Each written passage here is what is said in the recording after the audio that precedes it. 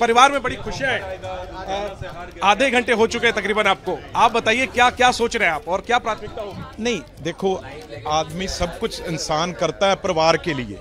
परिवार के लिए करता है। और अगर परिवार आपका खुश है तो सब खुश है। और मेरी तो माँ है, जिसने मुझे, फादर की मेरे बहुत जल्द, दस साल का था, डेथ हो गई थी। और माँ ने ही मुझे पालकर बड़ा किया है। और माँ को भगवान पे दृढ़ विश्वास था।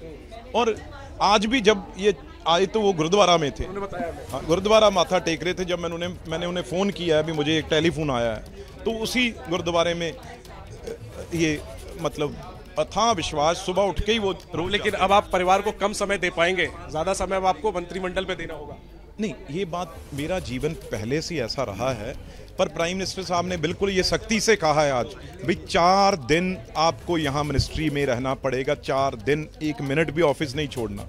तो बिल्कुल ये ये ये तो फिर जब आप इस फ़ील्ड में आओगे तो फिर परिवार प्रायोरिटी प्रायोरिटी परिवार परिवार ही है पर वो जो है परिवार को खुद समझ आ जाती है वो उतना समा है जो वो अपना दे देते हैं उनको पता होता है। उनकी पत्नी मेरे साथ है।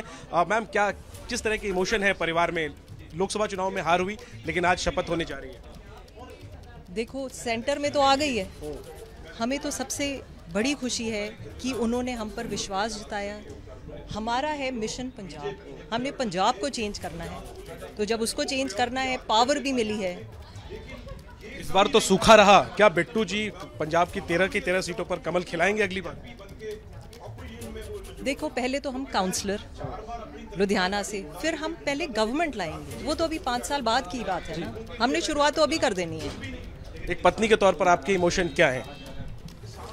ये तो पॉलिटिकल बात अपने कही। एक पत्नी के तौर पर क्या फ़र्क अब आएगा मंत्री बनने जा रहे हैं बिट्टू साहब जो काम रवनीत बिट्टू जी लेके जाएँगे ना, वो देखेगा लुधियाना जो उन्होंने प्रोमिस किए थे वो पूरे होंगे। आ, उनकी माँ भी हमारे साथ है। माता जी बिट्टू जी मंत्री बनने जा रहे हैं। आप क्या कहेंगे? आप लाइव है एबीपी न्यूज़ में मुझे इस बात की बहुत खुशी है। मंत्री बनने जा रहा है लेकिन उस पे ऊपर जिम्मेवारी भी बहुत बड़ी एक माँ के तौर पे क्या चाहेंगी? वो वो किस तरह से काम करे मंत्री के तौर मैं क्योंकि हमने बेटे बहुत कुछ देखा है। हमने सीएम पद भी साढ़े तीन साल देखा उनके बाद उनकी शहादत देखी बच्चे इनको बड़ा किया क्योंकि इसके फादर भी नहीं है। नौ साल के थे जब चले गए। हमने बहुत कुछ देखा है हमें बहुत कुछ एक्सपीरियंस है। माँ क्या देखना चाहती है? रवनीत बिट्टू को किस भूमिका उसको, उसको काम करने देखना चाहती है और पंजाब में नंबर एक पे देखना चाहती है। जैसे पार्टी बदलने के बाद हमें ऑपोजिशन वालों ने नीचा दिखाया बहुत कुछ कहा। अब भी चार पाँच दिन में जो सुना माँ नहीं सुन सकती। ये आपके आशीर्वाद ये आपके आशीर्वाद का ही नतीजा है? आशीर्वाद का है और मोदी जी और अमित शाह जी का आशीर्वाद। उन्होंने पहले मुझे कह दिया था कि हम इसके साथ हैं। हम इसके साथ हैं माता जी फ़िक्र मत करो। जीते या हारे? जीते या हारे।